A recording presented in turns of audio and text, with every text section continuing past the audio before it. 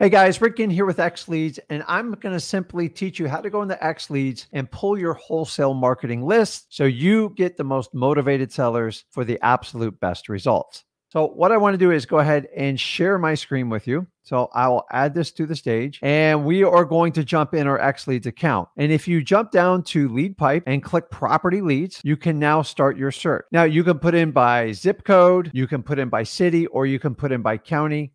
It's whatever your preference is. I like zip codes if you want to get really, really specific, but let's just show you how this works so you get a broad understanding on how to do it. Now, as you see, I do Brevard County. I get 246,000 plus leads, a lot of leads. I'd like to narrow it down to probably around like three to 5,000. Maybe I'm putting a direct mail campaign together, whatever I want to do. Now, if you want to cheat, you can click some of these preset filter leads for you. Um, as you see, you got absentee owners.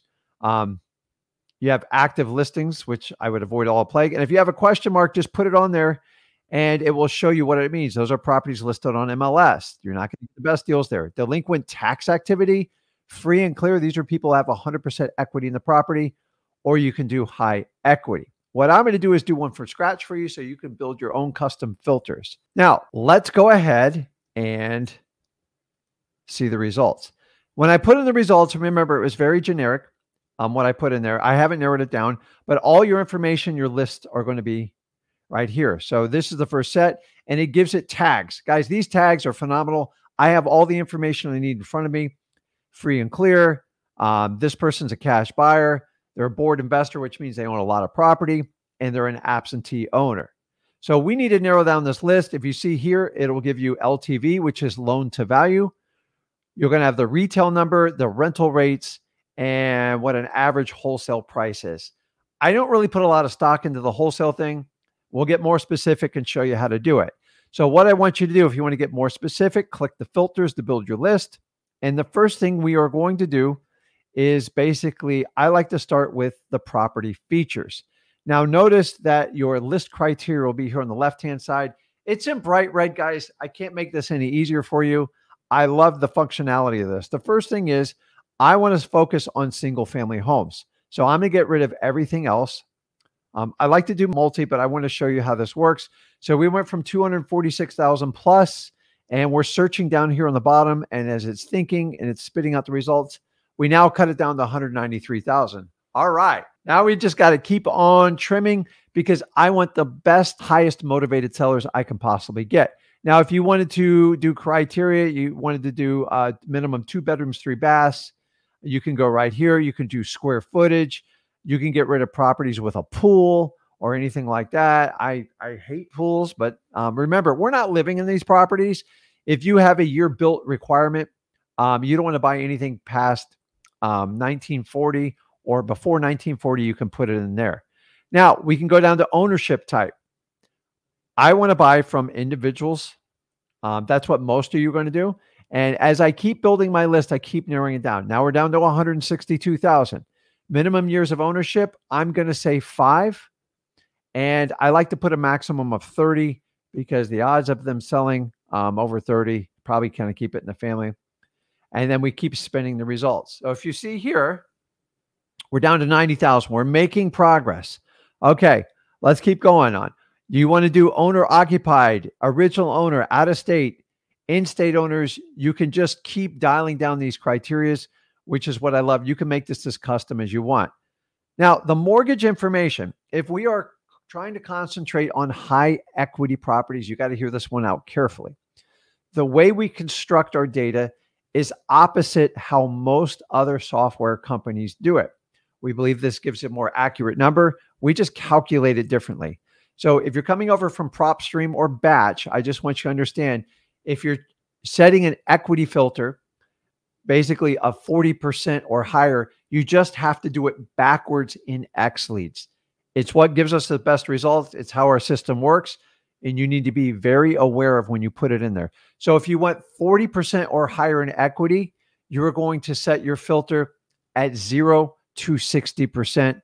So let me show you how to do it. Obviously, zero. I don't even think you have to put it in there, but I always like to put the numbers in there.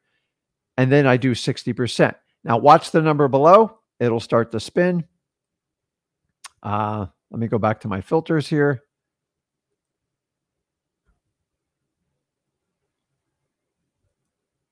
And it is searching.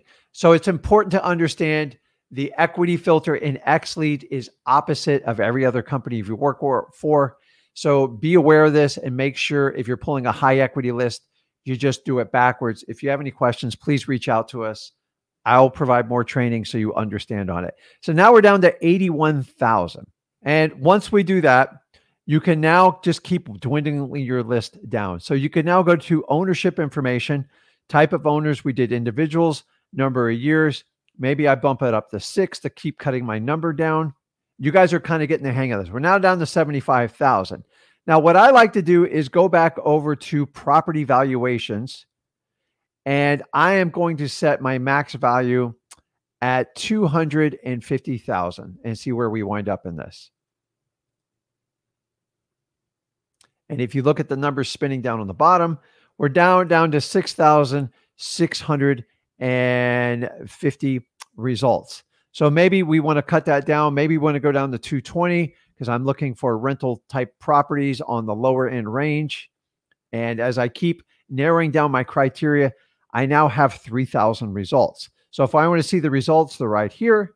And what you can do if you want, you click this button, you select all, and it's going to put it in your My Leads account. Now, if I select all, I've added it to my leads. I have another set of leads in there. And if you want, you have the option, you can download it. Now, it's going to save it as a CSV file. And then you can actually have options and you can decide which data you want to pick instead of you having to filter through your list. This is a great feature that we have here at XLeads. Um, but you want to put if you're doing a um, an offer postcard, make sure you have the valuations built in there. But you can get as much detail, or if you just want the simple mailing address to either put a reverse driving for dollars or do a direct mail, just click the top one. If you want to do property details, if you want to do valuations, you're doing the offer postcard, you would want to click on that. So now that you know how to do that, you can click that and you can export your leads.